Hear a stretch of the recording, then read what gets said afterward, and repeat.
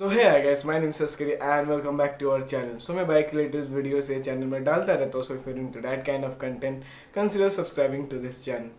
तो हमारे एक मित्र हैं, उन्होंने कमेंट किया था about T V S Zeppelin के बारे में वीडियो बनाने के लिए। पर ये कोई रैंडम नॉर्मल वीडियो नहीं है जहाँ पर मैं इसे बाइक के स्पेसिफिकेशन के बारे में बताऊँगा।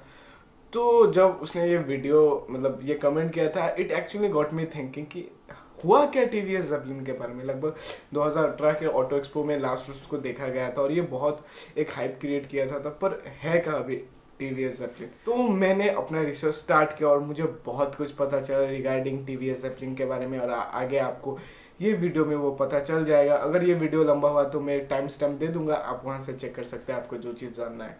तो अगर मैं आपको ये बाइक के बारे में थोड़ा बहुत बता दूँ तो ये 2018 में ऑटो एक्सपो टीवीएस की तरफ़ से कॉन्सेप्ट मॉडल के हिसाब से दिखाया गया था और उसमें 220 सीसी का इंजन था which produces around 20.5 HP at 8000 या फिर 8500 आरपीएम में।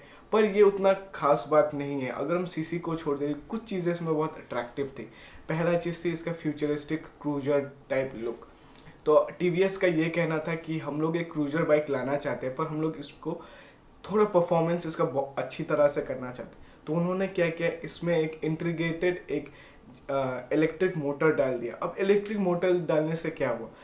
पहले से ये बाइक 220 सीसी का था और इलेक्ट्रिक मोटर डालने के वजह से इसको अपने एक्सेलेशन में टॉर्क ज़्यादा मिलता और फ्यूल इकोनॉमी का भी इसका बहुत ज़्यादा अच्छा हो जाता।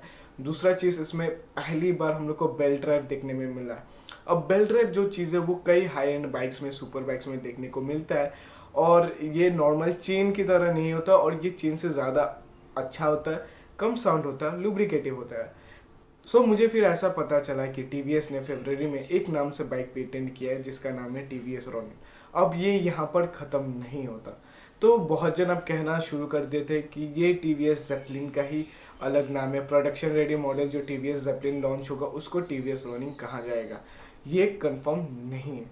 अब बहुत जन ये भी कह रहे थे कि टी वी एस जो है वो है अपाचे का एक नेकेड वर्जन या फिर दूसरे कुछ अपाचे का हायर एंड वर्जन जो मार्केट में लॉन्च होगा।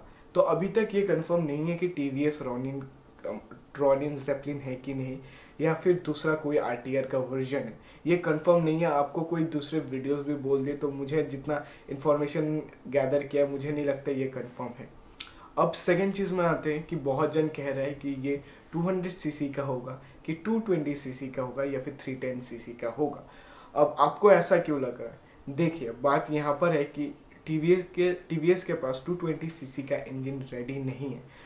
पर अगर हम जो शोकेस किया गया था, जो कॉन्सेप्ट मॉडल शोकेस किया गया था, उसमें ऑयल ऑयल कूल्ड इंजन था। और टीवीएस के पास 220 सीसी का दूसरे कोई बाइक्स नहीं है इंजन भी रेडी नहीं है।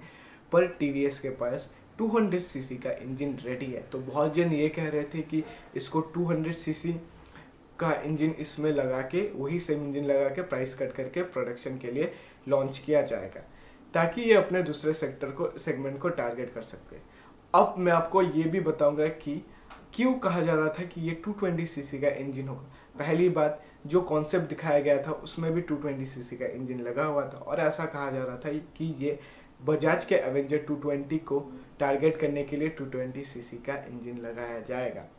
अब हम तीसरे बात पे आते हैं कि थ्री टेन सी का बात कहाँ से हुआ?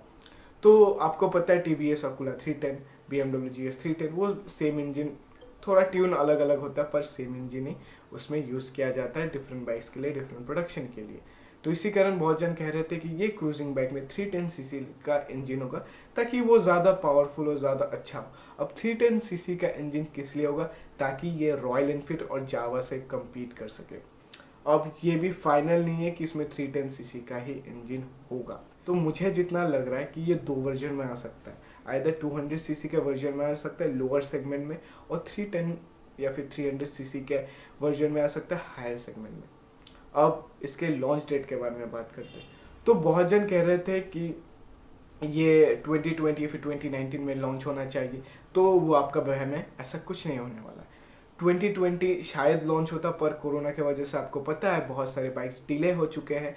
इवन कंपनीज़ भी अपने अपने नए नए बाइक लॉन्च अभी नहीं करे क्योंकि एंड हो रहा है। तो आई गेस ईयर एंड के पहले सितंबर अक्टूबर में लॉन्च होने का एक चांसेस है और नहीं। अब आ जाते हैं बेल्ट ट्रैक के ऊपर। मुझे नहीं लगता अभी बेल ड्राइव आएगा। अगर बेल ड्राइव आया तो बहुत अच्छी बात है ये सेगमेंट में, पर टीवीएस को प्राइस के बारे में बहुत कुछ सोचना होगा। क्योंकि टीवीएस के प्राइस जो होता है वो उतने खास मतलब उतने हाई एंड रीच तक नहीं होते। कम सीसी या फिर कम प्राइस में, कम ब्रैकेट में होता है। तो ऐसा जो कहा जा रहा है कि 200 सीसी का जो बाइक होगा या फिर 220 वो around less than two lakhs होगा और 310 का अराउंड थ्री लैक्स या फिर 3.5 लैक्स के अराउंड होगा।